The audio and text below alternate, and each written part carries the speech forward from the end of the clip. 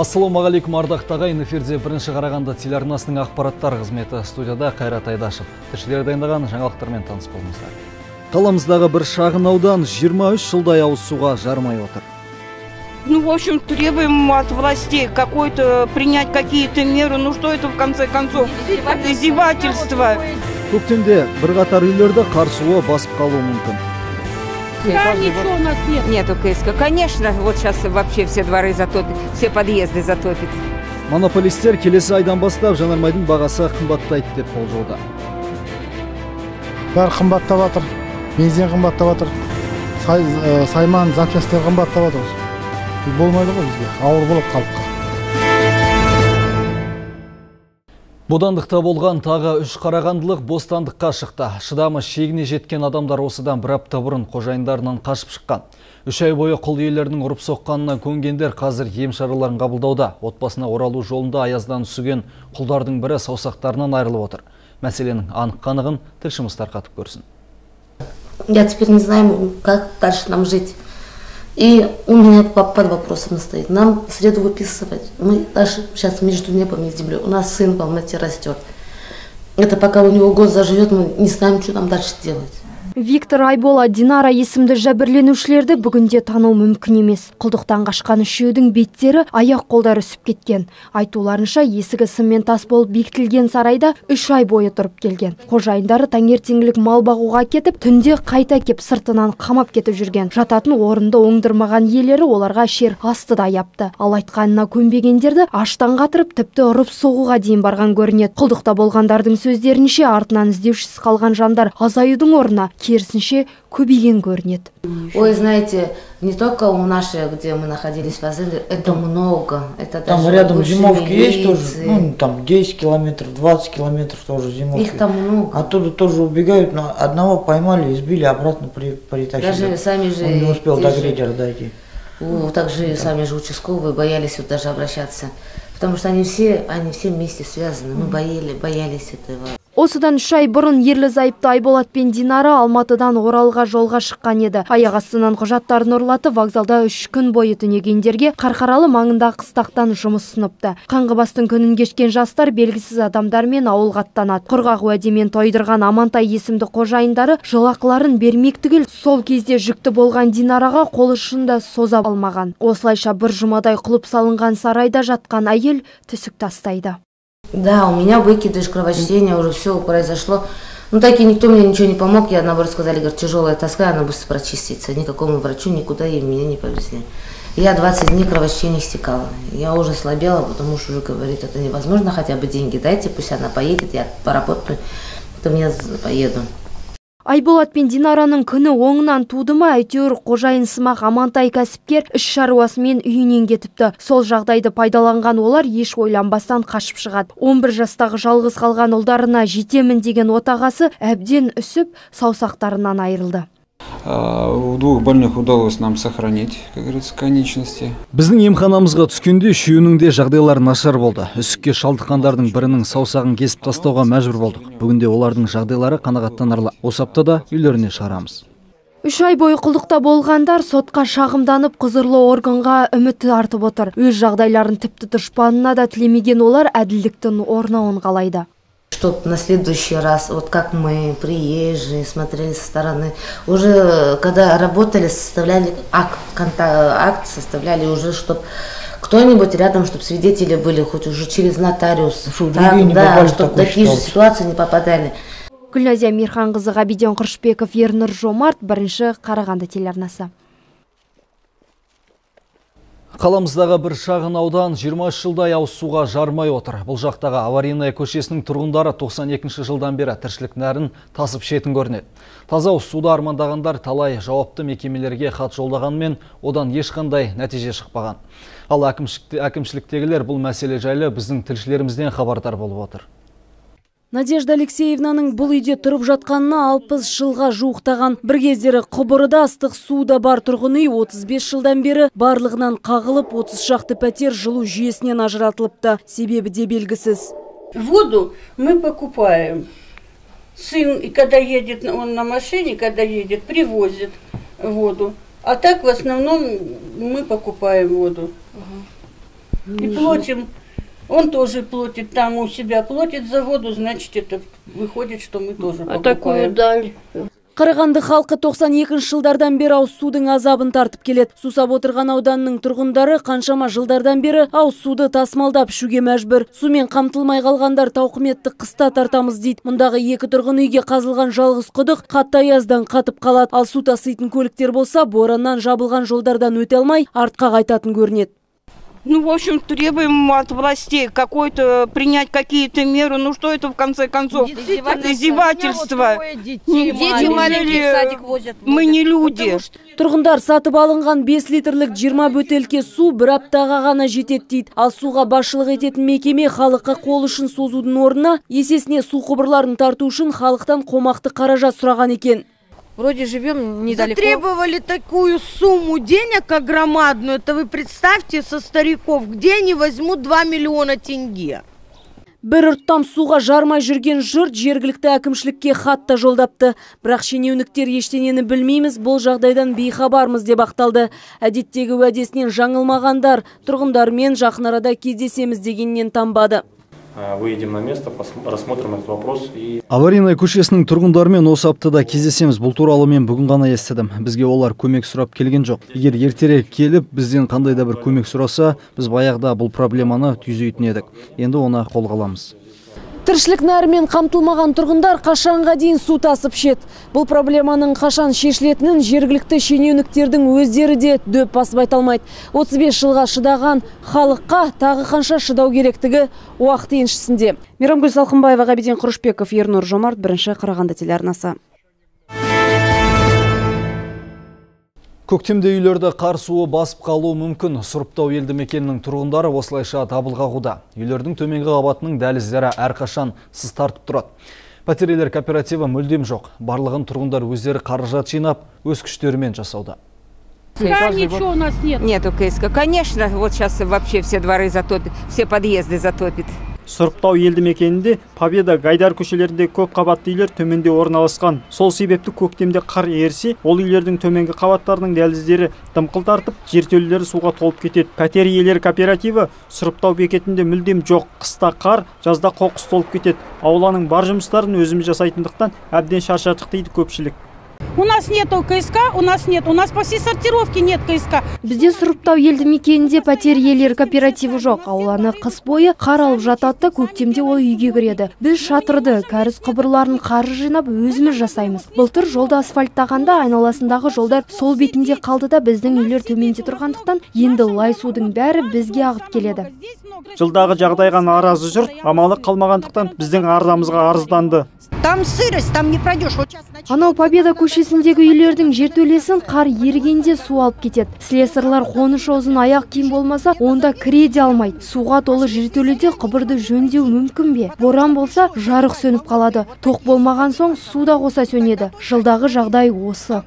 Ал аудандық әкімшіліктегілер бүгінде тиісті шараны қолға алып жатырмыз деп ақталды. Тіпті жылдағы жағдай қайталанбасы үшін қаржы бөлініп, арнайы техникалар жұмылдырылды. Әзірге көшелер мен ауылдардың қары тазалану үстінде. Атқамінерлер көше тұрғындарын барлық жұмыстарды бірігіп атқаруға шақырады. Қазіргі уақытта бұл жұмыстар жүргізіліп жатқаны ертең қар ерген уақытта су алып кетпеу үшін барлық октябрь ауданының барлық тұрғындарына айтқым келетіні бізге көмектесіп өз аулаларын жинауыңызды сұраймын биыл қар қалың түскен әкімшілік қызметкерлерінің сөзіне сенсек көктемде ешқандай су алу қаупі жоқ ауланың бәрі тап тұйнақтай тазаланады ал нақты жағдай қалың қар су болып жылғалардан аққанда байқалмақ жаңабек нарып қайрат рашитов ернұр жомарт бірінші қараған телеарнасы Ал монополистер жанармайдың бағасы осы айдың аяғында қымбаттайды деп болжауда. Девальвация салдарынан жеке газ иелері бензиннің бағасын жоғарлатуға мәжбүр болып отыр. Ал одан жапа шегуші тек қарапайым халық қана. Қаламыздың жанармай қоры қанша қымбаттауға негізбе. Осы сұрақтарға жауапты Талғат Хал іздеп көрді. Келесі айдан бастап жанармай сатып алу қажеттігі туындай түсуі мүмкін. Себебі қордағы қара алтын таусылудың аз ақ алдында. Осыған байланысты жанар жағармай бағасының шарықталуы күтуде. 115 теңге тұратын аи 92 маркасы 130-140 теңгеге дейін көтерілмек. Ал витамарс фирмасының жетекшісі жанармай бағасын қадағалауды жергілікті әкімшілікке аманат етіп отыр. Өйткені нарықтағы бағаны тұрақтандыру тек шенеуніктердің құзырында. Поэтому как зауыттар бағаны қымбаттатып жатыр. Осыдан кейін барлығы кезек кезегімен қымбаттауға кіріседі. Қазір бәрі уақытша орынша болғанымен көктемге қарай ауыл шаруашылық маусымы басталған уақытта жанармайдың жетіспеушілігі байқалады. Барлық бағаның шарықтауы да девальвацияның кесірі. Ал атқамінерлер оның тұрақтануына сендіріп бақуда экономика және бюджеттік жоспарлау министрі ерболат досаевтың сөзіне сенсек бірінші маусымда қара алтынның бағасы қымбаттамайды. Оның үстіне баға ай сайын арнайы қадағалануда. Ал қала тұрғындары жанармай бағасының қымбаттауы қалталарын қағатындығын айтып наразылық танытуда. Енді бұл бензиннің қымбаттағаны қарапайым халыққа конечно тиімді емес қой. Ол бізге ауыртпалық түседі тұрақтылық болған жақсы ғой бензиннің. Әйтпесе қазір бәрі қымбаттап жатыр бензин қымбаттап жатыр. Сай, ә, сайман запчастьтер қымбаттап жатыр бұл болмайды ғой бізге. Ауыр болады халыққа. Бензиннің қымбаттағаны дұрыс болмады өзі сыбыс шығып жатыр ғой қымбаттайды деп мына қарапайым халық үшін әрине қиын жағдай енді. Енді басшылыққа алып кішкене арзандатып енді ыңғай жасау керек деп ойлаймын өзім енді. Наурыз айында жанар жағармайдың бағасының қымбатталуы күтілуде. Қазір 115 теңге тұратын аи 92 бензиннің бағасы 130-140 теңгеге дейін шарықтамақ. Жауапты орган өкілдері бензин бағасының қымбаттамайтынын айтып дәлелдеуге тырысты. Талғат қалиұлы ғабиден құрышбеков ернұр жомарт бірінші қарағанды телеарнасы. Облыс әкімі бауыржан әбдішев халықпен кездесті. Жиында аймақ басшысы қарағандылықтардың сұрақтарына жауап берді. Бауыржан әбдішев тұрғындармен бір үстелдің басында отырып пікір алмасты. Қоғам белсенділері тек өздерінің мұң мұқтажын ғана емес көпшіліктің ойында жүрген талап тілектерді де жеткізді. Мысалы абай ауданы жартас ауылының тұрғыны алтынбек бағаев көкөністерді сақтау қоймасының құрылысына қаражат бөлуді сұрады. Ал облыс әкімі барлық жайттарды өзі қадағалап жақын арада тиісті жұмыстар бойынша іске кірісетінін тілге мүгедектер жиі бір-бірімен кезігіп отыру керек. Бұл теміртаудағы менің періштем атты қоғамдық бірлестігіндегі психолог мамандардың пікірі. Жарым жандарды өмірде не толғандырады? Олардың әлеуметтік қоғамға бейімдей алмауының басты мәселесі неде? Аталмыш сұрақтардың жауабын гүлназия мирханқызы іздестіріп көрді. Біздің әрқайсымыздың сүйікті ертегілеріміз бар. Кішкентай болғандарыңда ертегі кітаптарын оқып берді ме? Ол не үшін керек? Ертегі бізге не үйретеді? Дәл осылайша балалықтың бал дәмін дұрыс тата алмаған әр мүгедек жанға психолог мамандар ертегі әлеміне саяхат жасау арқылы бастады. Оларды әлеуметтік қоғамға бейімдеу мақсатында аталған бірлестік бұл шараны осымен төртінші рет өткізіп отыр. Онда облысымыздағы шағын қалалардың тағдыры ұқсас жандар кездесті. Обычной школе да? Мен колледжде оқыдым. Одан кейін қарағанды техникалық университетін сырттай бөлімін тәмамдадым. Мені әжем барлық жаққа өзі жетелеп жүретін. Бірінші топтағы мүгедек болғандықтан жұмыс істей алмадым. Үйдемін. Бала кезіне мүмкіндігі шектеулі мейіржан шаяхметов шахтинск қаласының тұрғыны. Ол өзін мүлдем мүгедек санамайды. Айтуынша тума мүгедек ел алдына шыққанда саусақ көрсетіп мазақ астына көп қалған көрінеді. Тіпті үйіне көп жылап келіп анасын сұрақ астына алатын кездері де болыпты. Ал қазір жас жігіттің арманы ұлан ғайыр ол жаны жаралы жандарды қарапайым ортаға бейімдейтін орталық ашуды мақсат етеді екен. Я вырос на улице.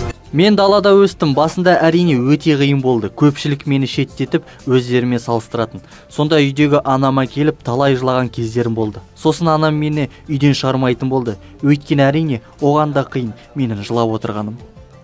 Аталмыш жиында мүгедектердің ата аналарының көбі өз пікірлерін білдірді. Басым бөлігі аймағымызда жарым жандарға көмек қолын созар орталық ашылса деген ниеттерін де айтты. Өйткені мүмкіндігі шектеулі азаматтардың көбінің басында баспанасы жоқ екен.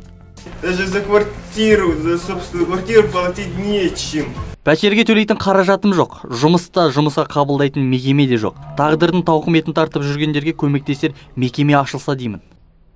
Олардың бар мұңын балалық шағының қиын кездерін тыңдап болған соң психолог мамандар өзара тренинг өткізді. Басты мақсаты бойына батылдық өмірге құштарлық ұялату. Айналадағы адамдардан қорықпай еңбекке араласуды үйрету.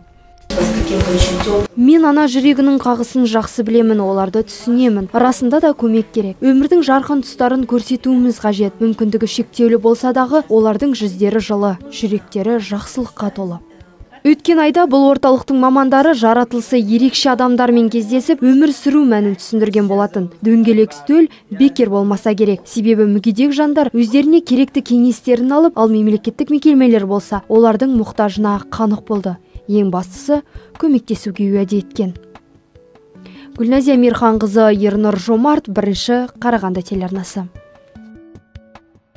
Қарағандыда славяндардың Масленица мерекесі тойланды. Бұл күні құймақтың түр-түрі пісіріліп, халыққа тегін таратылды. Жиналған жұрт ән айтудан да бас тартпады. Көңілді болған тойда ренжіскендер бір-бірін кешіріп, татуласып та жатты жуанның жіңішкеріп жіңішкенің үзілер шағында қарағандылық христиандар қаламыздың орталық бағына жиналып масленица мерекесін тойлатты. Қысты шығарып салу мен көктемді қарсы алатын ежелгі славян халқының ұлттық мерекесі кезінде міндетті түрде қимақтың түр түрі пісіріледі екен. Сонымен қатар халық би билеп ән айтады. Бір бірін қонаққа шақырады.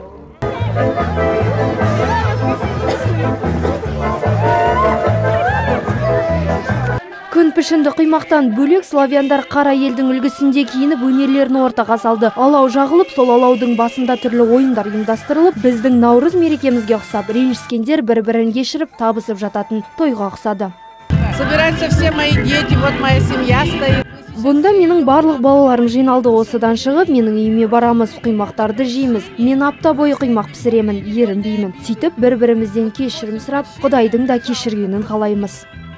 Айта кетейік, Масленица бір күн емес апта бойы тойланды бұл күндерді халық барынша көңілді өткізуге тырысты. Өйткені славяндар Масленицаны қалай қарсы алсаң, жыл бойы солай жүресің деген ұстанымды ұстайды.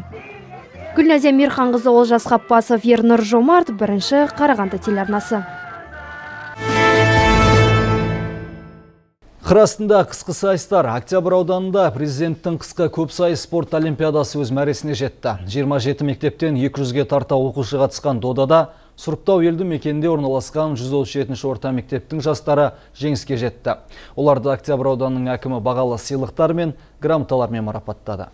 Страна казахстанские спортсмены достигли высоких результатов. Я надеюсь, что и каждый из вас будет занимать призовые места в будущем международных соревнованиях. Желаю вам самое главное – здоровья, благополучия и новых спортивных свержений. Октябрь ауданы әкімінің арна ұйымдастыруымен бұл игі спорттық шара үшінші жыл қатарынан өткізіліп келеді. Шаңғы нысана көздеу күш гимнастынан сайысқа түскен оқушы саны 200-ге жетті. Соның төртеуі жұмысшы ауылындағы нөмірі 56 мектептің оқушылары. Екінші орынды иеленген команда жылдағыдан жақсы ойын өрнегін көрсетті. Мен ойлаймын осы жеткенімізге мерейімізге өте қуаныштымын. Өйткені нұрсұлтан абишевич назарбаевтың айтқаны салауатты өмір спорт спортпен өмір сүру керек. Өмір сүрсек бәріміз денсаулығымыз зор болады. Үш күнге ұласқан дүбірлі додаға жастар қарқынды дайындалып келген. Алексей медведев 18 жаста айтуынша бұл бәсекеге бұрынғыдан әлде қайда қиын болғанға ұқсайды десе де жас спортшы бірінші орынды қанжығасына байлады. Да труднее с каждым годом все больше и больше соперников. Молодежь сильнее приходит. Ну мы стараемся не сдавать места я третий год участвую и три года подряд выигрываю. Ну на призы акимова третий год участвую и выигрываю всегда.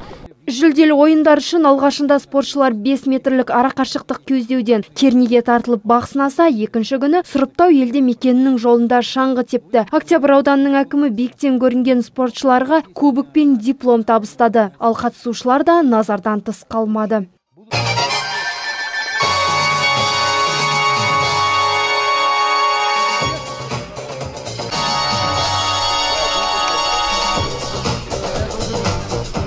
Гүлназия мейірханқызы қайрат рашитов ернұр жомарт бірінші қарағанды телеарнасы Бүгінгі күннің өзекті мәселелері осындай болды. Егерде қандай да бір қызықты ақпараттарыңыз болатын болса, редакциямыздың 42 06 49 телефонына қоңырау шалуды ұмытпаңыздар. Мен өздеріңізбен қоштасамын. Амандықта жүздесейік.